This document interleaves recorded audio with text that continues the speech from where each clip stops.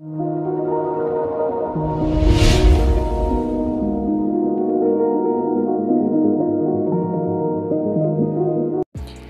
semuanya, selamat datang kembali di channel YouTube Ahmad Tawe. Di sini saya mohon maaf sebelumnya dari dua minggu terakhir ini saya belum update mengenai dunia cryptocurrency. Dan di sini saya akan buatkan video buat kalian semua karena di sini saya sudah memiliki waktu luang yang cukup dikarenakan kemarin lebaran dan hari ini sudah mulai masuk kerja kembali. Jadi di sini minal aizin wal faizin buat semuanya. Di sini jika saya memiliki salah saya mohon maaf yang sebesar-besarnya. Jadi di sini di dua minggu yang lalu saya juga mengikuti market yang saat ini sedang terjadi penurunan.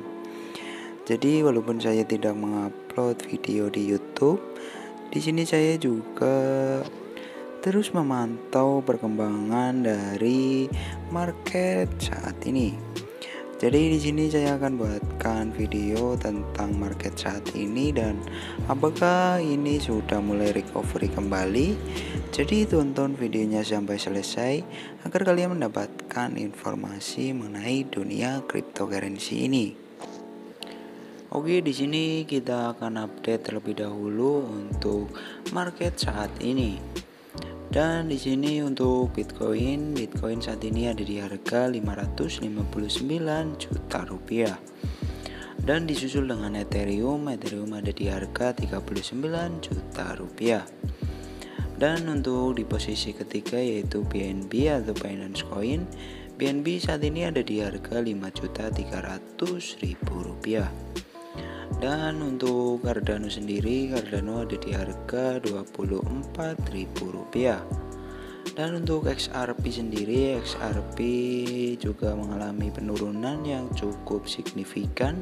Di sini XRP ada di harga 14.300-an.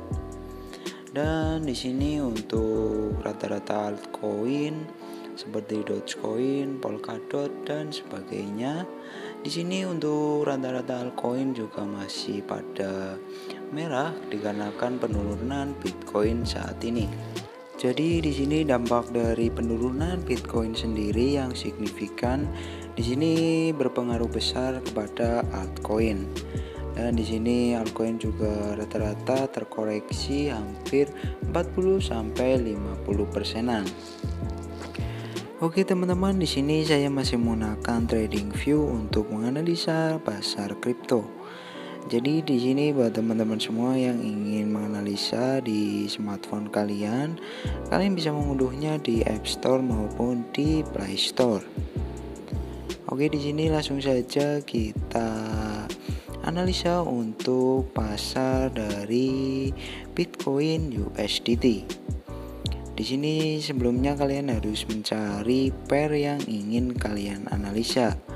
Di sini saya akan analisa BTC USDT terlebih dahulu. Dan di time frame 4 jam untuk Bitcoin, di sini menurut saya Bitcoin membentuk seperti symmetrical triangle. Di sini saya akan bentuk garis agar kalian memahami untuk pola Bitcoin saat ini. Di sini saya akan gariskan seperti ini, kita tarik ke bawah. Lalu kita buat garis lagi dari bawah ke atas. Nah, seperti ini kurang lebih. Nah, di sini kita sejajarkan terlebih dahulu lebih seperti ini. Dan di sini Bitcoin saat ini ada di harga 38.000 US dollar. Dan di sini untuk titik support pertamanya untuk Bitcoin, jika Bitcoin ini ingin naik lagi di sini dia harus bertahan dan tidak boleh keluar dari support pertamanya di sekitar di sini let's say 37.000 US dollar. Dan apakah Bitcoin ini akan keluar dari zona symmetrical triangle ini? Apakah dia akan meretest support pertamanya di 37.000 US dollar? Dan jika Bitcoin ini ingin naik lagi, dia harus keluar dari pola symmetrical triangle ini. Jadi di sini dia harus breakout di atas garis trendline yang atas yang saya buat. Dan di sini saya ingatkan lagi atau saya tekankan lagi buat teman-teman semua yang ingin membeli Bitcoin. Di sini kalian bisa menunggu Bitcoin ini keluar dari pola symmetrical triangle ini. Dan jika Bitcoin ini bisa keluar dari pola symmetrical triangle ini, kemungkinan besar untuk Bitcoin dan altcoin di sini akan mengalami kenaikan. Jadi selalu lakukan riset kalian sendiri untuk membeli Bitcoin maupun altcoin lainnya. Dikarenakan di sini untuk kerugian maupun keuntungan ditanggung pribadi masing-masing. Di sini saya memberikan informasi atau gambaran buat kalian yang ingin membeli Bitcoin maupun altcoin yang lainnya. Oke, di sini kita bahas untuk altcoin seperti seperti BNB di sini kita cari BNB USDT. Dan di sini untuk pola altcoin seperti BNB dan yang lainnya, di sini menurut saya ini adalah pola yang terjadi sama seperti Bitcoin. Jadi di sini pengaruh yang cukup signifikan untuk altcoin dan menurut saya untuk beberapa hari ke depan di sini untuk market menurut saya masih akan terus sideways atau sedikit tenang.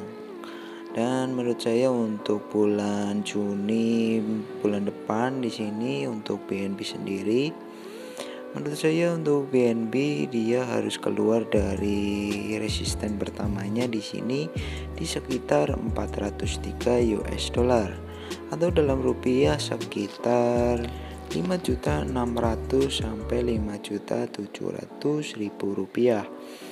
Jadi kalian bisa menunggu BNB ini breakout di atas resisten pertamanya yaitu di sekitar 403 US dollar.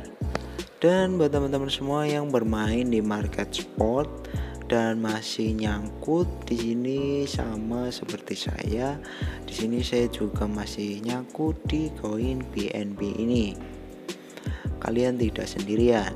Oke, di sini kita bahas seperti XRP USDT. Di sini untuk XRP sendiri polanya juga sama di sini mengikuti pola dari Bitcoin. Dan tidak perlu kita bahas lagi untuk altcoin. Di sini seperti silika kita coba di sini untuk silika sendiri polanya juga sama mengikuti Bitcoin, jadi tidak perlu banyak analisa untuk market saat ini. Di sini teman-teman semua bisa menunggu jika Bitcoin ini sudah pulih kembali dan altcoin terbang kembali menuju all time high-nya. Di sini kita berdoa saja agar Bitcoin cepat pulih dan terhindar dari kabar-kabar buruk dan isu-isu dari luar sana. Oke, di sini kita cek untuk market di market exchange Indodax. Di sini untuk Bitcoin sendiri Bitcoin ada di harga 573 juta rupiah dan berbagai macam altcoin di sini sudah mulai mengalami sedikit kenaikan dikarenakan Bitcoin sendiri sudah mulai sideways atau mengalami kenaikan sedikit demi sedikit.